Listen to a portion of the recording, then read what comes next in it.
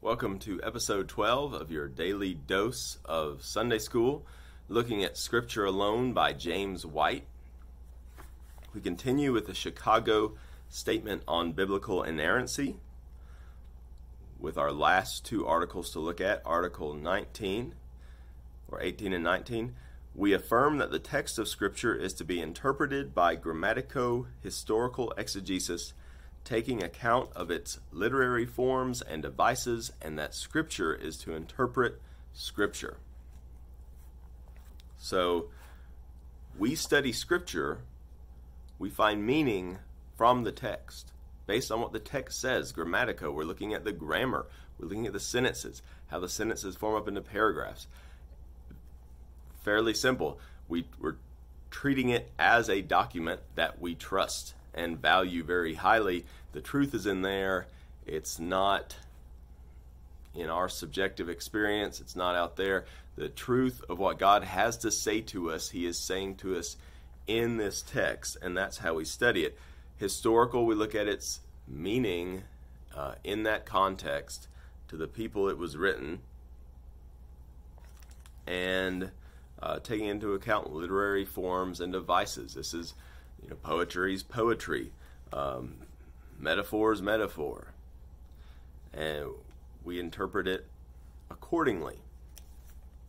And I've been encouraging you to do things like uh, journaling, take uh, do do a Bible reading plan, but do it slowly so that you can journal the greatest fruit comes as we wrestle with the meaning of the text of Scripture. I think you've seen from our own pastor how uh, wonderful truths can be uh, gleaned from the text as we wrestle with difficult texts and, and really think hard about the meaning. And we all need to be doing that sort of thing. So I've been blessed.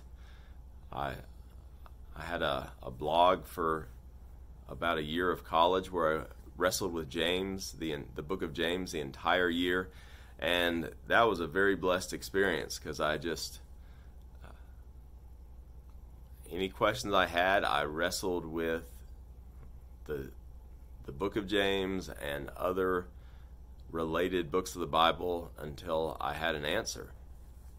And we really need to be doing that sort of thing. Um, it can, and it can even be as simple as reading the Bible to a, a younger sibling, and I think you'll find as you're trying to explain it to a younger person that it um, it really comes alive to you because you're really forced to think hard about it. Uh, it says we deny the, the legitimacy sorry of any treatment of a text or quest for sources lying behind it that leads to relativizing, dehistoricizing, or discounting its teaching or rejecting its claims of authorship. Okay, so uh, universities and seminaries are filled with people who, you know, they've got to put bread on the table and how do they do it? They do it by writing papers. And in terms of theology and biblical studies, the easiest way to do that is to poke some hole in the Bible and argue for it. And it's junk, and those people aren't adding anything to anybody's faith, including their own, probably shipwrecking it. Um, they're just saying, well, this part, this this book, you know, Second Timothy wasn't really written by Paul, and here's why I say that. And it's just garbage. and it might be interesting for a bunch of eggheads to sit around and argue about. But it doesn't do anything positive. Instead of just believing the text and studying it. All right, Article 19. We affirm that a confession of the full authority infallibility, and inerrancy of Scripture is vital to a sound understanding of the whole of the Christian faith. We further affirm that such confession should lead to increasing conformity to the image of Christ.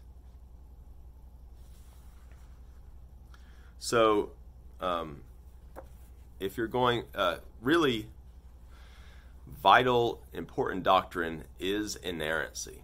As I've said before, Proverbs 30, verse 5 Every word of God proves true. He is a shield to those who take refuge in him. If you want to be running the race with vigor, if you want to be uh, as strong as you can be, you want to be taking refuge in His Word. but, excuse me, by believing, by believing every word of it. And uh, so that's that's the only way that that that's going to happen. It says that we deny that such confession is necessary for salvation. However, however, we further deny that inerrancy can be rejected without grave consequences both to the individual and to the church. Inerrancy is not the gospel, but you know it's it's very very close to the heart of the gospel. It's taking refuge in Him, trusting what He has said, and so there is, uh, you know, there are people who are strong in the faith and, and wise who deny it, but there's not many of them. And their churches are weak, and I would argue that they could be potentially stronger in the faith. Um, and it's like they've got this gaping wound that they're losing blood from, and they they need to heal it up by really trusting every word of God, and it would make them even stronger in the faith. Have a great day. Study the Word.